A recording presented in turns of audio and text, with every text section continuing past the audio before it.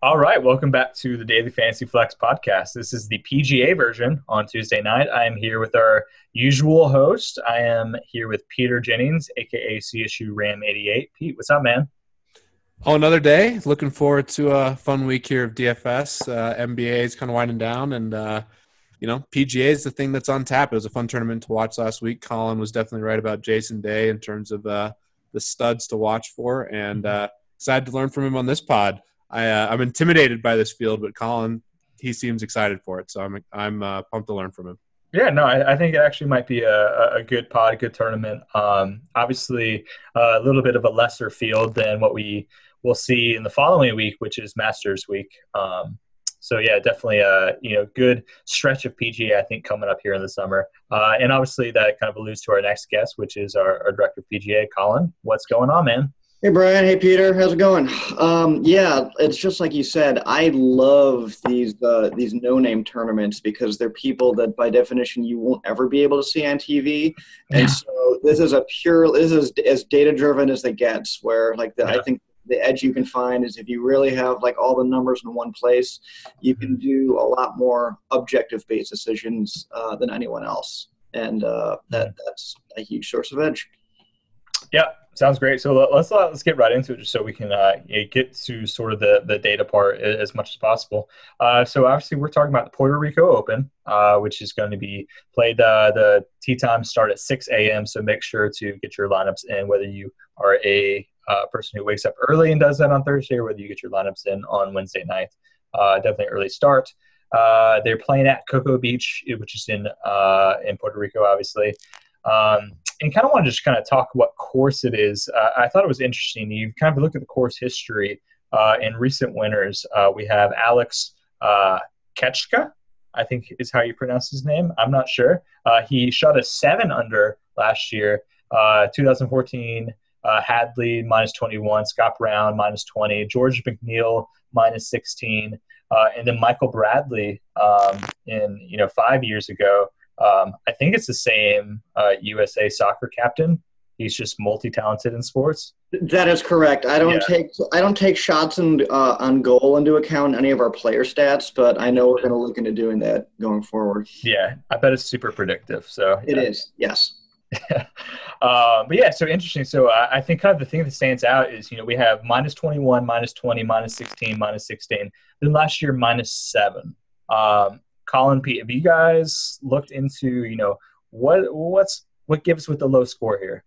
Um, I think the simplest explanation is just it was really windy last year compared to all other years. I took a look at kind of like average uh, the wind speed we have in our database, and like normally it hovers around like you know 13, 14 miles an hour in years past. It was 28 last year, so like something like double the wind, meaning like half the high score, which sounds about right, actually, in terms of uh, net effect on scoring.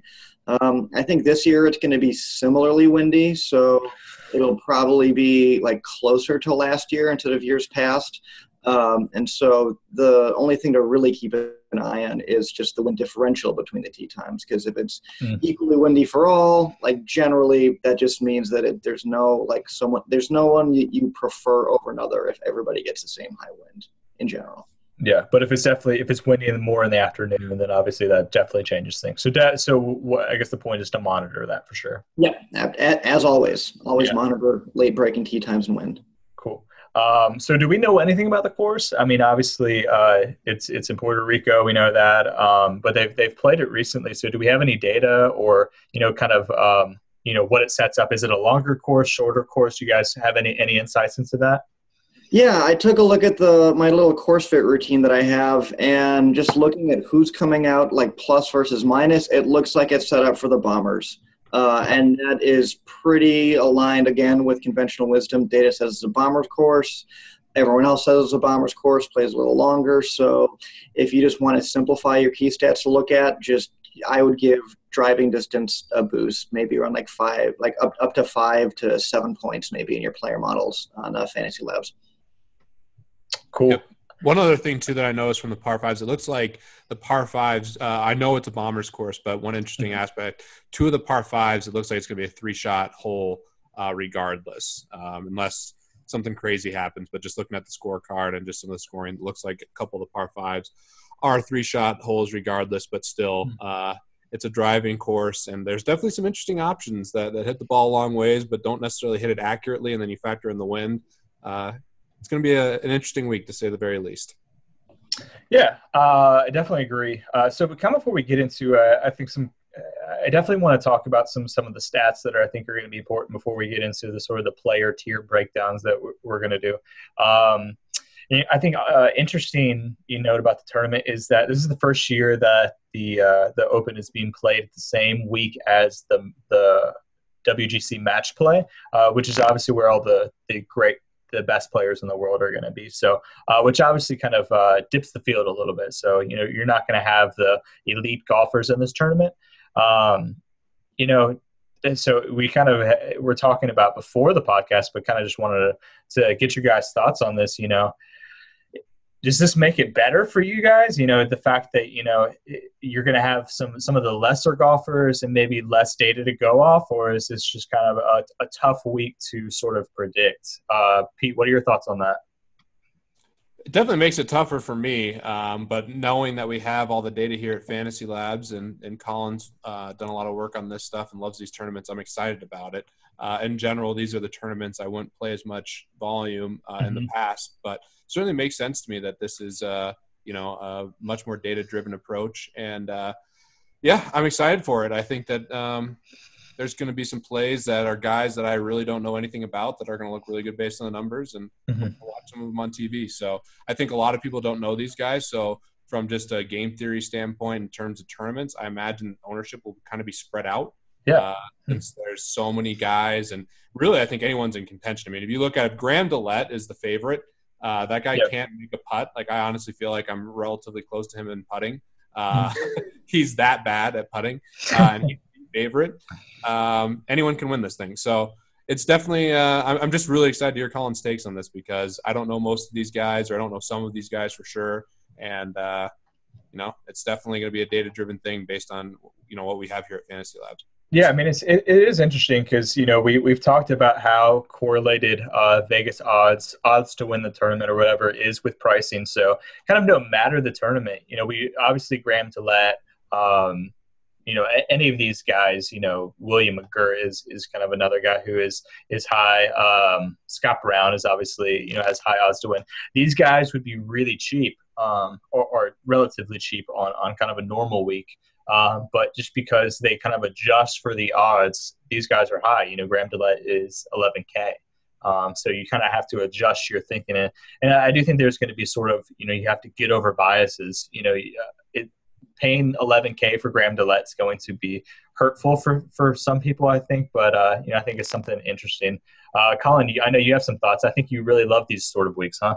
Oh, absolutely. I think um, if the if I ever have an edge over the field, it's going to be making better object decisions, and people could, could still beat me in subjective. But if you don't know the players, then you can't really make subjective decisions unless you really follow a lot of these people.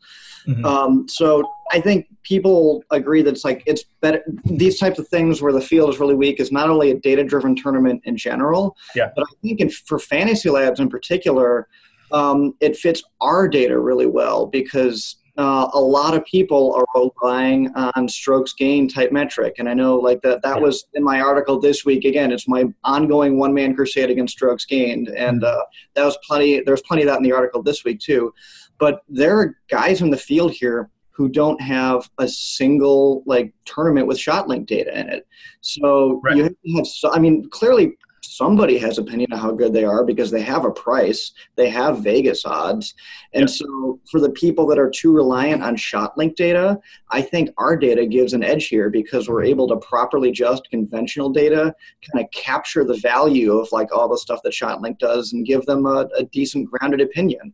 So I think every even among the data driven crowd that are looking at this tournament, there are gaps in their data that like this is the tournament where those chickens kind of come home to roost and they're all running with blind spots that they may not know they even have. One other real quick thing to just thinking about this tournament and just this type of thing in dfs my favorite dfs sport is college football. You know probably not going to be able to play next year based on what i'm you know seeing in regulations rest in peace daily fantasy college football. But one of the best things about it was playing guys who I knew were really good because I followed them. They're you know smaller schools, but uh, no one had ever heard of them, and that kept ownerships down, and people didn't know. Like it's very easy in basketball to know to play Harden and Westbrook and Durant tonight. Uh, if you don't know these guys, that's very tough uh, for the public. So I think there's inherently an advantage, especially if you have good data on all the players. So it definitely makes sense to me that there's an edge here. Just my PGA approach in the past was much more on the subjective side and line movement, things of that nature. And now that we have this data, uh, it should be pretty interesting and definitely excited to test it out here for this tournament. Yeah, no, for sure. And, uh, you know, we can kind of transition into the sort of uh, stat uh, part of the, the show, kind of talking about that. And, and I think I, it is a good uh, start to uh, a good spot to start is is Colin's article. Uh, one guy that I I had mentioned in our, our, email thread that we were talking about before this podcast, uh, which I think is kind of a great example of uh, potentially of, of, what you're talking about here, Colin, is is a guy like Dean Burmester who is making his PGA Tour debut. Um, he it's rated pretty high on your models. Um, you know, his his odds to win are, are pretty decent. They're 2.9. Uh, he has some really good metrics as far as green and regulations, and uh, crushes the ball. His driving distances are ridiculous. And we talked, you know, just a second ago about how the scores really set us up for bombers, and he's been crushing the ball. The problem is, you know, if you rely on these, uh, you know, shots gains metric, you're going to have nothing on Burmester, right? So it, it's this kind of uh, maybe uh, an example of why you could use just traditional metrics and you can get you know well obviously we have data on the stuff that he's played outside of the pga um, which could be a little more indicative of you know what we'd expect this week as opposed to if you rely on um, you know shots gained or, or whatever sort of uh, of metrics you're not going to maybe find guys like that uh, yeah, I mean, this is the the premier week for that kind of approach. Um, and just to give everyone um, a little bit more context, this article this week was all about trying to see how much information we can extract from conventional data to mirror what we get at a, a strokes gained, something like strokes strokes gained tee to green or strokes gained putting.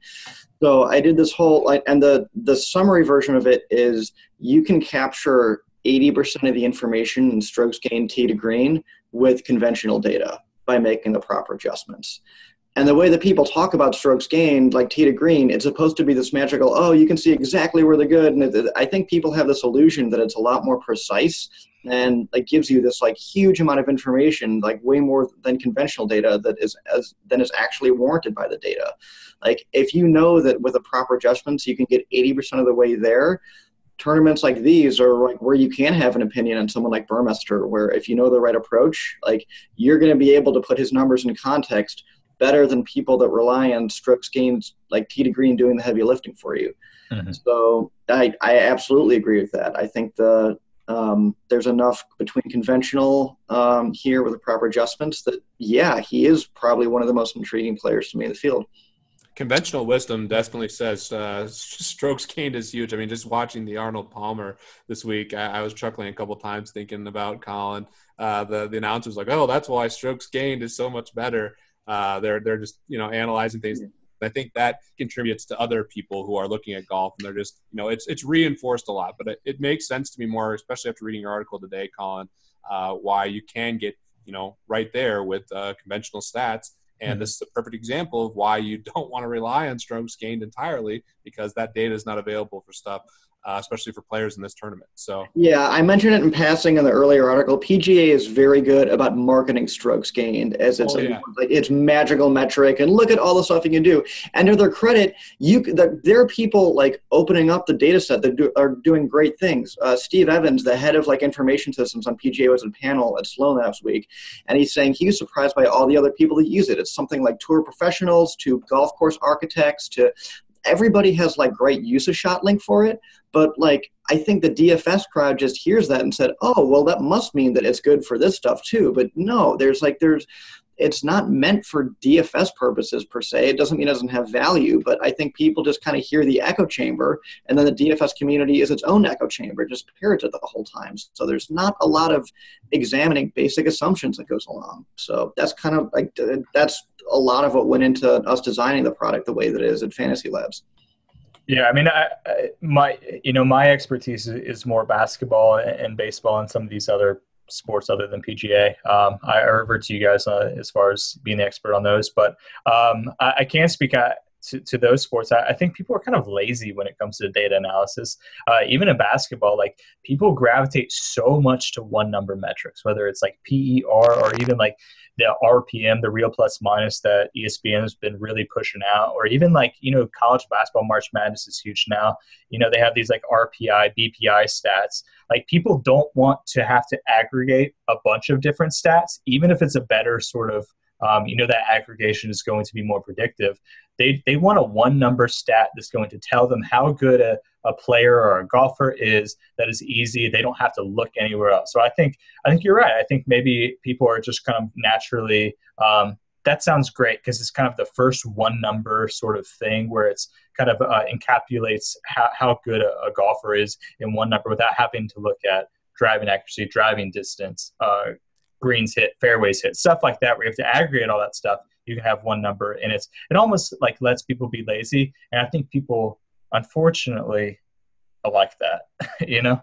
Yeah, I think laziness is probably like 60, 70% of it. And even among the data crowd, I think the other 30% is this kind of illusion of seven decimal point accuracy, where when you see that what ShotLink data does, you believe that you can truly know like every facet of a golfer's game. And you can like, oh, I know how well they do in this situation.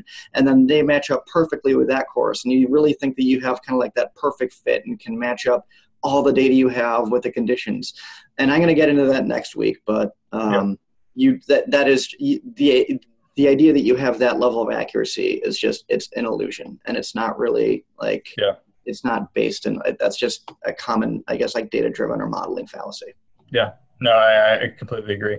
Uh, so before we get to the, the players, which we will in just a second, uh, I uh, just kind of want to quickly talk about maybe some important stats for this week. Uh, you know, we talked about the courses really set up for uh, for bombers. So I think one important stat obviously is going to be driving distance. Uh, but Pete, this is kind of a, a interesting thing I want to to talk to you about because I think that you know you you and Colin are a good pair to talk every week because you're you're more narrative street. You know, you you like watching uh, uh, golfers. Like you, you watch all the tournaments, you like seeing recent form. You're a big believer in like how they're playing now. I think Colin's more of into the the data driven approach. Uh, in kind of a small tournament like this, are are you more inclined to kind of go Colin's route, or are you do you still take the uh, the, the kind of the uh, how players are playing now sort of approach? I have very few narratives this week, and uh, in general, I, I really learned a lot from Colin last week too. Just thinking about guys who are undervalued. It's kind of like baseball too. Like um, certain players might get in a slump, and if there's no reason for that slump, um, you know, their price goes down and they're undervalued. Uh, and I think the same thing kind of holds true in golf in certain situations. And I'm definitely looking at it more like that. Like Jason Day, perfect example. Colin talked about, hey, this is a golfer that was just owning the entire, you know, he was the guy on the PGA Tour, even ahead of Spieth at the end of last year. And he's not a 10 8 guy relative to the rest of the field. Um, and I, I definitely am going to be taking that approach. Uh, for this week, in terms of stats, uh, the thing that stands out to me is looking at greens and regulation again. And there's a couple guys uh, that really stand out that we'll talk about here in a little bit. Of curious uh, Colin's mm-hmm. opinion on them, uh, but that's definitely a stat I'm going to be looking at. Uh, definitely looking at the driving guys. I mean, Tony Finau is a guy, you know, not to talk about golfers, but uh, he's the guy that's long and that uh, you know played relatively well last week. That I think a lot of people know.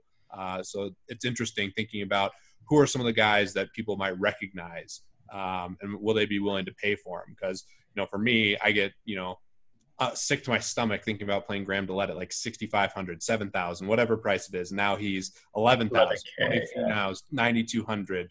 McGirt is 10.5. I mean, it's it's just it's uh, tough. Yeah, it's a tough week. Uh, from from a statistical standpoint, uh, the one thing I've identified outside of driving distance is greens and regulation. Curious to hear what Colin has to say in terms of what stats he's looking at. Um, my honestly, it's it's a pretty simplified week for me. It's driving distance, and pretty much that's it. Um, I'm sure. I mean, other stuff is always important, but I think some stuff like general long-term form and kind of that's just like overall rating takes care of the rest. The only stuff that's really separating this better or worse than expected is driving distance to me. So, simplified week for me. Yeah, um, I, I, do want to k- kind of hit on, on one more stat before we get to guys, because uh, and it's not necessarily a stat, but uh, I want your thoughts on it. So, like in a normal week, like even last week with the, the Arnold Palmer Invitational, you know, we had the very very top guys like Rory. His odds to win were about seventeen percent, uh, and in in general, we see when we have a guy like Rory or, or Spieth or, or Day or whoever may be one of these elite golfers. Um, you know, we have guys that are approaching 20%, um, you know, odds to win. This week, you know, we have guys, you know, the top guy is about 5% odds to win. So how do you adjust your thinking? Is it, is it maybe, um, you know, even though these guys are, uh, have the highest odds to win, do you maybe put a little less stock into that um, sort of number just because everyone's so low where it just maybe seems like it's, there's there's not a, a definitive guy. Maybe it's just kind of just more of a crapshoot of what's going to happen. Um, I it, it kind of goes a little both ways actually. So I agree that the tournament is the when the odds are a little bit flatter, it is a little bit more of a crapshoot. But remember that also bets the benefits the lower guys too, because you know they yeah. don't they're not necessarily going to get like just pushed out of the field because right. it's so top heavy and like they're a lot more open slots in the in the cut that they can realistically make. So I don't necessarily feel bad about paying up for someone, even though like you know they're like they jump in price four thousand dollars from last week because they're not actually that good. It's just the field is actually that bad. But that also means that um, a lot of people on the lower end like are they don't increase in price nearly enough so right. there are ways to justify spending a lot of money on someone that you'd never spend otherwise so it's it's it's not as clear in one either direction i guess as you might think and i think maybe an important point is you know obviously you know, DFS is a zero sum game, and obviously we have to worry about ownership and kind of how GPPs match up as far as ownership goes. And and Pete, you mentioned that before, so maybe this is kind of an important part of ownership where you know there should not be a guy that's super high owned in in a week where. Uh, that the guys, the highest guy's odds is five percent. Uh, so maybe you just kind of spread your exposure in a lot of different areas uh, without you know putting all of your stock into one necessarily main guy or is that kind of where you're you're stacking up? It basically eliminates game theory for me. Uh, you know, don't have to think too much. I'm just going to take the golfers that you know stand out the most in the data hmm. and uh, go from there. Um, sure. you know, maybe a couple guys like I think Finau might be one of the guys who might be owned a bit more. Maybe Rodgers. Uh, I know he's been touted a decent bit in the industry so far. So in that regard, um, I might make a couple decisions um, with a couple guys, but outside of that, because there's not that much else, I'm not going to have to think too much about. Oh, this guy is projected slightly worse, but he has, you know, an opportunity to be like 1% owned versus 15% owned for a guy yeah. or something like that. So I'm just going to trust the data and, uh, yeah, see see who comes come, comes out strong in that. Yeah, no, I think that's a good point. Maybe maybe game theory doesn't necessarily go out the window, but maybe don't stress about ownership. Just kind of like take the guys you like um, and, and, create the best lineups and, and just roll them out. Uh, Finau, I think is interesting. I think he's kind of a PGA Twitter uh, darling. Uh, Davis Mattek talks about him almost every day. I feel like so. Um, yeah, so I guess we can get into players on that note. Um, yeah, so so let's kind of go through the same sort of tiers. Um, we'll, we'll, go um, 9K or more on DraftKings, um, and then the kind of the middle tier will be seven to 8.9, and then the, the lower end tier is going to be less than 7K. Um, so so we'll start with the higher tier.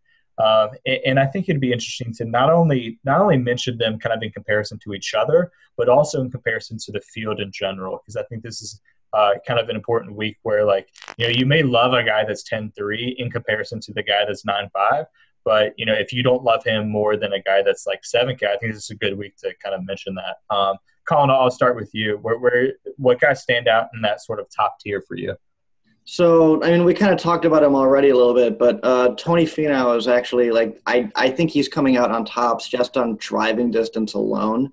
I think that he probably gains the most. I mean, he has the highest, one of the highest driving distances in our player models, and I think that'll help him a lot. Plus, his recent results haven't been that bad among actual fields. Um, Patrick Rodgers is the other guy where his, his driving distance is high enough there that I think the course fits him like better than some of the other big guys. And his track record, he's kind of in the sim- his similar recent results to Finau. Mm-hmm. Um, the other like top end, like the top guys, Graham DeLaet, William McGirt, Freddie Jacobson, a lot of them don't have great course fits. Their driving distance isn't that high. Um, the one that kind of I think might fly under the radar a little bit in that bracket is Retief Goosen. Uh, he has this nice little stretch recently where he's been making a lot of cuts and putting up like essentially top 25 percentile finishes. Mm-hmm. Um, and just if you think that Finau or Rodgers are going to be maybe over owned, I think Goosen is going to fly a little bit more under the radar.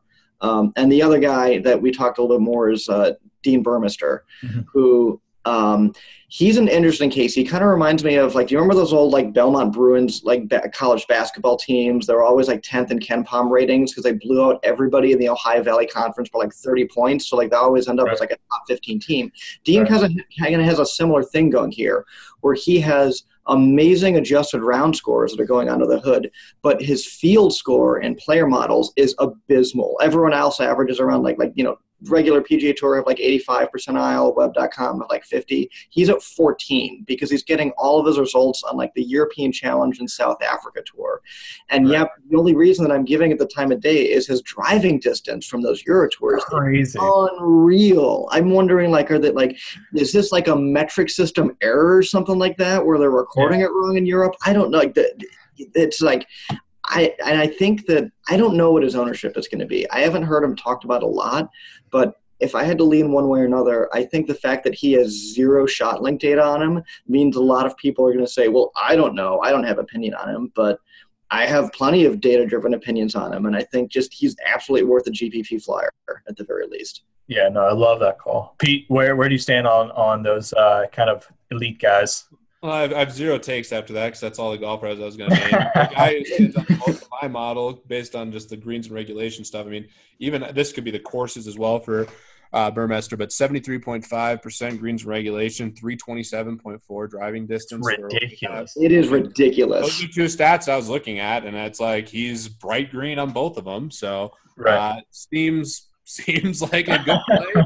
Pro trends. I mean, don't know anything about the guy, never seen him golf, don't even know what he looks like. Maybe I'll go on YouTube and try to find something. But yeah, Finau's, Finau's the guy that I'm I'm looking at pretty hard. I think he'll be very very popular. Yeah. Uh, following DFS golf Twitter, everyone's talking about him. One guy said he didn't like him that much, and uh, you know, a pretty prominent golf tout, Jabberwock, said, "Yes, please talk people off Finau." Like, eh, you know, people are very bullish on this guy. So uh, he definitely stands out to me. I think Rodgers another guy I've heard touted quite a bit. That's it. I'm not going to play Graham DeLaet. I'm not going to play McGirt. Um, yeah, me neither. I'm just not going to do it. I mean, playing 11,000 for Graham DeLaet is just it's it's just hilarious. Although the beard, it's you know watching the tournament, you don't have any exposure to him. You see the beard, you get a little sad. when he misses like a five foot birdie putt or something like that, you'll feel better. yeah, I think the, yeah the only other guy I think on there, Scott Brown. I think he has the best course history out of everyone there, but I think course history is generally overvalued, and so that's the only mm-hmm. reason he's up there like above ten thousand. Luke Donald rates well for me, but he's not a bomber at all. Uh, no, he has a bad course fit for for me. Right, but except for some reason, and what I have, he's rated well. But I'm staying away because he doesn't meet the the two stats I want. So what do, what do you guys think of uh, Koepka? You know, obviously defending champ, but in a in a weird year, his driving distance isn't that high. But uh, you know, maybe that was negated last year a bit by the fact of you know the wind was just so high. So Colin, what are your thoughts on him? And you, maybe if the wind's going to be higher, does, is he going to get the sort of bump that you would expect? Um, I, in terms of like course history, like I tend to discount course history under really random conditions. Sure. So like, yeah, he won last year, but like if you imagine, if you think of like really high wind as like every fifth shot is like a dice roll or like a random number generator, you just don't put as much stock into that. And if like someone has to win that tournament, even though it's like incredibly random, right? Mm-hmm. So like it, I, I don't put a lot of stock into his win just because like the I mean conditions were far more random, so it's not necessarily predictive of his true course history going forward. Yeah, and there was like I think eight guys or something like that tied for second, just a stroke behind him. So yeah, just ridiculous. Uh, cool. So in, in, this segment, I definitely want to uh, ask you guys for like a, a fade, but it seems like you guys are, are pretty unanimous in you know the sort of the top guys, McGirt and DeLaet. You guys kind of like those sort of fades. Yeah, Scott Brown's definitely fade for me too just too expensive. Same same thing, Pete. Yeah, I mean, I haven't made any lineups with Scott Brown, and I see no reason to. So I think that's a fade for me as well. I think we'll see a lot of these guys in like the 8K, 9K range uh, being pretty popular for, for at least what I have in my, my models right now. Cool. Yeah. So uh, let's let's get right into that. Uh, so the next tier we'll hit on is 7K uh, to 8.9. So kind of in between seven and nine. Uh, and Pete, I'll start with you this time. Uh, what what guys kind of rate highly for you? You're looking in in that range. You said obviously there's some guys that uh, you think you might be really interested in that 8K range. Yeah, Seung-Yul Noh, no is rating well for me um, in my my stuff. I'm not sure he's a great play, but uh, you know he's rating well for me currently in, in, in my stuff. Uh, in addition to that, uh, there's a couple guys that I, am curious uh, Colin's opinion on. Jonathan Vegas is rating somewhat high. I generally stay completely away from him, but I know I have to at least consider him um, in, in, this spot. Um, and then the guy who's rated really high, and I don't know that much about him, um, but very, very curious the opinion, Colin, if you have one, is uh, Gregory Birdie, uh, another guy with higher green regulation. His driving distance is marginal, it's average 286.1, but uh, he's rating pretty high for me. He's right at 7K, so I guess he's kind of towards the lower end, but uh, that's a guy who's rating well. So curious opinions there. I'm not sure, to be totally honest. Again, this is a tournament where I'm just relatively lost, but um, yeah, those are the guys who are rating well for me currently. Well, I mean, his name is Birdie, so. Or Bourdy, Bourdy. yeah. You know uh, anything yeah. about this guy, Colin? No, and like I get, he's not on my radar at all. And like, there's some guys that popped up in models occasionally where I'm like, I, I'm not quite sure about that. So I'd have to dig into him. Like, I'm just taking a look at. He just uh, has elite greens and regulation. And that's probably why. And driving accuracy too. Yeah. Yeah, no, yeah, you're really I, good at those too. Yeah. yeah. So I think like so why why aren't I super high in him? So like one like I I I think I'm valuing just like pure distance more than GIR on your case. So like that may explain right. why it's a little bit higher on your end. Um, zero course history. I mean, that's kind of like a that that doesn't explain like that big a drop off. Um, but yeah, I'd probably have to get into his like actual results and try to figure out like Vegas is one who kind of meets. I mean, he's got pretty good driving stuff, but I, he's a guy I just can't trust. But I guess I have to consider him in this spot. Yeah, no. The so the other two guys you mentioned, uh, Vegas and uh, Seung-Yul Noh, like they're they're definitely on my mid tier uh, list. Like I, I agree with those 100. percent um, the other ones that I like in the mid tier right now are the Kyles, uh, Kyle Stanley and uh, Kyle Reifers. Hmm. And those, I think they're getting a little bit of chatter for like a solid mid range play. Um, but yeah, they're they're the ones that are popping for me. Um, there's it's not necessarily great um, course fit. I think it's kind of like average in both directions. I think they just kind of have some of those, like they're on the fringes and kind of have a decent smattering of like close cut misses and um, decent finishes on the regular tour that um, they're normally coming in around like, you know, like 7,000 or something like that. And I don't think they're getting hmm. priced up enough for this much weaker field. Bourdy has good line movement already, FYI. Okay, like I haven't even looked at I haven't looked at line movement at all. And not week. much has happened, right? I mean, it's Tuesday. Uh, this is a tournament that I assume is not facilitating that much action, uh, but he's already moved relative to where he was, and it's that, not a gigantic move. But that was another reason I liked him. Okay, that, that another reason I was considering him just based on fantasy labs and that. Again, I don't know that much about these guys, so I am really relying on you know fantasy labs and Colin here. Yeah, and maybe the fact that uh, it's not a huge tournament, maybe line movement means even a little bit more in a tournament like this. Uh, Colin, one guy I want to ask you uh, about before I ask for phase and then move into the lower tier. Luke List, he's at eight six. He has elite driving distance. He is the second highest driving distance behind our our favorite Burmester. He, he's just going to be our guy this week, I think. Uh, and really great. Uh, I think he's got good green and regulations as well. Um, but not, not a not a crazy high rating. Um, you know, how, how do you feel about him?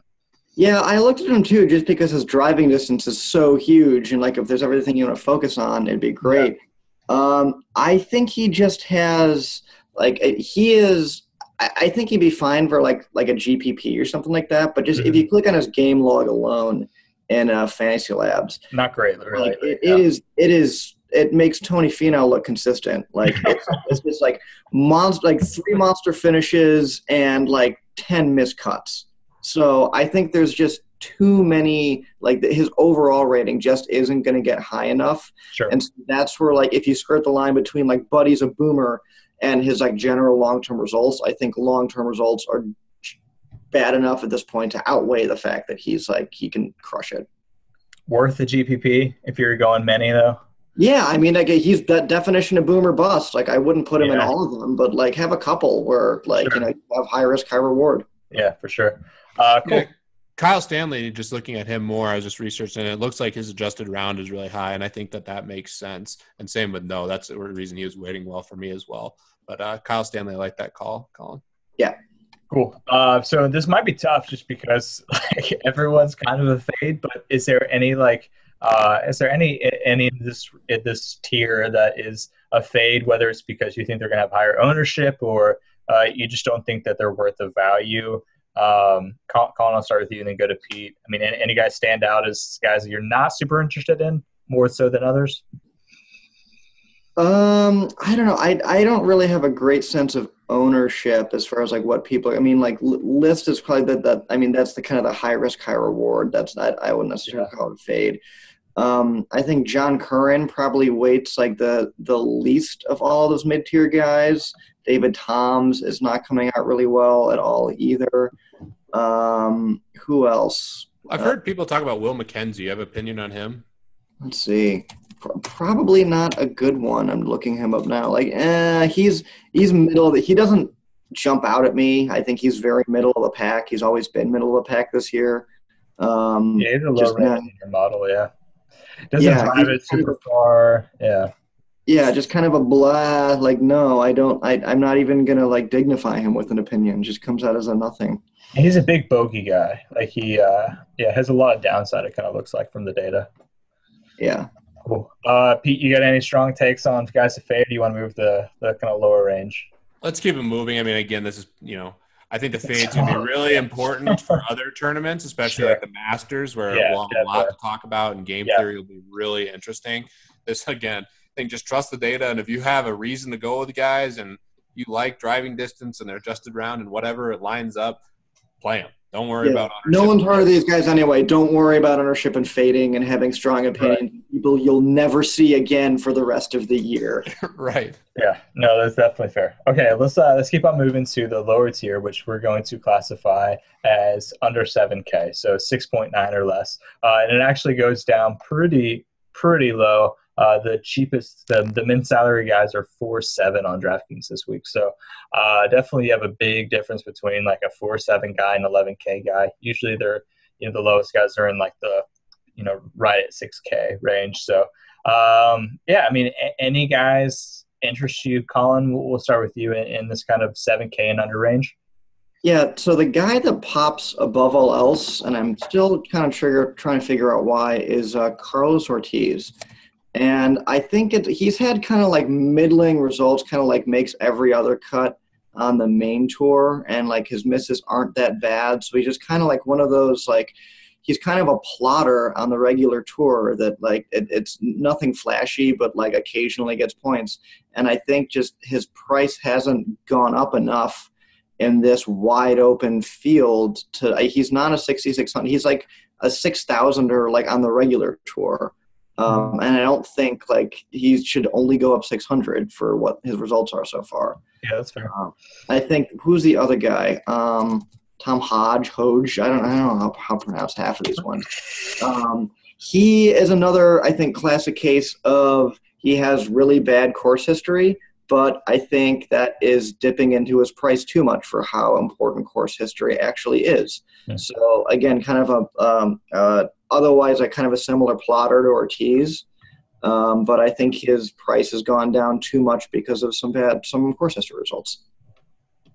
Cool. Uh, Pete, you got any, any strong opinions on these lower end guys? All in on John Daly. Uh, There, there's a fade for you right there, I guess. yeah, John Daly. Um, you know, these guys, uh, Ortiz pops pretty high for me. Um, and then it's a bunch of guys that I, I mean, I have no idea they're good plays or, or, or not. Um, I'd be lying to you. Some guys who I recognize that are like Rory Sabatini is rating pretty high for me. I know who that is. No idea if that's if he's a good player or not, but he's rating somewhat high uh, in my model, I guess, on Fantasy Labs. Um, there's a couple other guys. Is it Stefani? I remember looking at. Is he in this tournament? Stefani? He is. Yeah. Yeah, he's he's in that range, and I, I like just watching him. I think he has talent, but uh, not sure if he's a great player. He's not even rating that well for me. So I'm I'm pretty lost here. Ortiz is a guy I was going to bring up, and if, if Colin likes him, if he stands out, that's probably what I'll be doing this week. So uh, you know, I don't know all the guys in the tournaments, even in the high tier range. You know, dumpster bin diving here with these guys. Uh, yeah. It's, it's definitely tricky. Uh, so I'll probably build a more balanced roster again, just because I'll be fading a lot of the really expensive guys. Uh, mm-hmm. so I probably won't have to take too much in consideration. But Ortiz, he pops my model, and Colin likes him. So that's the direction I'm thinking now. Cool. I like it. Uh, Colin, let me ask you about a couple guys here. Yeah. And, then we'll kind of finish. Um, just kind of guys that, stood out to me and curious. Uh, first one is Brendan Todd. You know, it's a guy who plays in kind of the the harder tournaments. So you know he really rates really well as far as like field percentage, which you talked about uh, earlier, um, and, and, rates well in some other metrics as far as you know driving accuracy and um, you know bogey avoidance and stuff like that. So uh, he's six five, so you know a guy who you know plays in some harder fields and you know potentially you know might have seen a, a bigger increase than you know what he has. He's a six five. Uh, so uh, curious your thoughts on him, and then also Steve Marino. He's at five five. I, again, I know nothing about him. He doesn't have like great odds to win, but he's another guy who rates really well in driving distance in greens and regulation, and is super cheap. So um, maybe a GPP flyer or no. So I think so. Brendan Todd, I would still say no. So just like I'm looking at his game log, and I think in his last like, I mean, I, I know I'm big on long term form and stuff like that, but sometimes you can just like some, I'll just eyeball like short term form and see like okay, so maybe something truly has broken.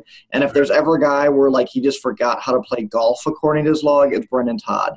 It's literally one made cut in the last like eleven tournaments or something. So like if, yeah. I think that's just too much for me to say like okay you know what I I know he has plenty of like great long term results from a year ago but if there ever if there's ever a time where those can get swamped and like to, okay he's forgotten something it's now so sure. it's no on Todd. Sure. I think Steve Marino is one of he is my uh, one of my two favorites under 6K. Um, he's kind of a similar to one to Ortiz, where kind of plods along and uh, is like makes every other tournament and like some of the other PGA ones. And I think um, he would be probably like, you know, 5,000 on a regular tournament. And 5,500 is not enough of a price increase at um, this crapshoot. Um, so I'd agree with Marino, disagree with Todd. The other guy I like actually under 6K is uh, Michael Kim uh, who he's relatively new to the tour, so not a great sample, but he's got a good like you know I think like 15 tournaments at least under his belt now, and mm-hmm. he's always just kind of like on the edge of the top 100 as far as like my my overall ratings and does a decent job making cuts and like doesn't necessarily have like a ton of upside I think, but I think relative to this field like he could do just fine and put up like a solid top 30 finish. Cool. Uh, yeah, no, I, I, like that a lot. I think it's a very interesting tournament. Um, definitely, you know, want to I think use our data as much as possible. Uh, if you want to get a trial or obviously a subscription or whatever you would like to do, you know, we would encourage that. I think there's a lot of really good stuff in the player models. You can obviously adjust all of the sort of uh, you know potential ratings that you like, whether you you know, really want to rate driving distance high, like we you know said, I think we is going to be important. You can do that as high as you want, uh, but play around with the models. I think it's going to be an interesting week to play uh, and, and, have some fun in, some tournaments. Um, models are still still free too right now. We're in beta for a couple more weeks. Which oh yeah, great. yeah, so, yeah. Sure. Check them out right now, and this is probably the week where if you are playing PGA DFS, I admire the spirit and uh, mm-hmm. you know going after it this week. And I think this week more than others, uh, the data is going to be really, really important. I'm always trying to be data driven, but you know, there's no narratives here.